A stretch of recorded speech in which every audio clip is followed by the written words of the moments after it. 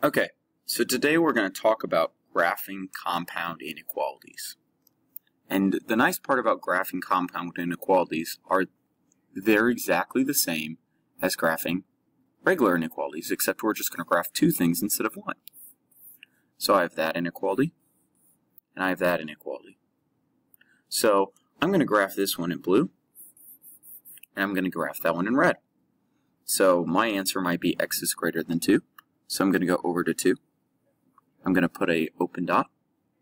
And since it's greater than, I'm going to put an arrow that way. Now I'm going to graph this other one in red. It's over at 5, so I'm going to go 1, 2, 3, 4, 5.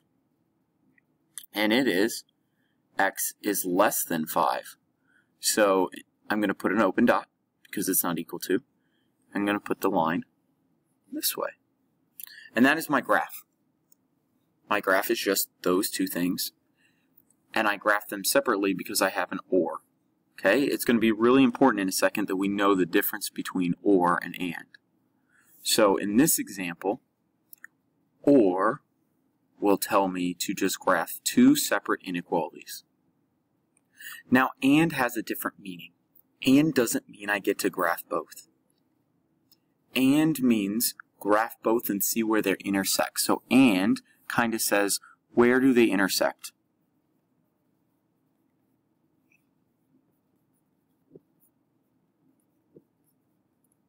So that's what AND says. Where do they intersect? And so we're going to graph both again. So in red, I'm going to go x is less than 5. So I'm going to make an open dot at 5 and say it's less than. And I'm going to go here and say, oh, x is greater than 2. So I'm going to make an open dot at 2 and go this way. Now here's what I don't get.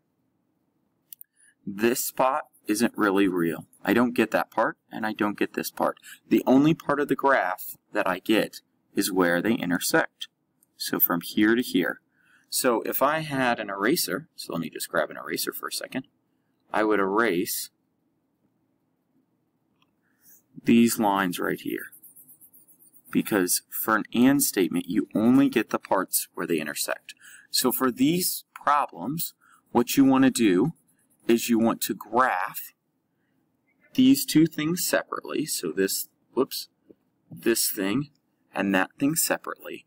And then for AND, you see where they intersect, or you just leave it like normal.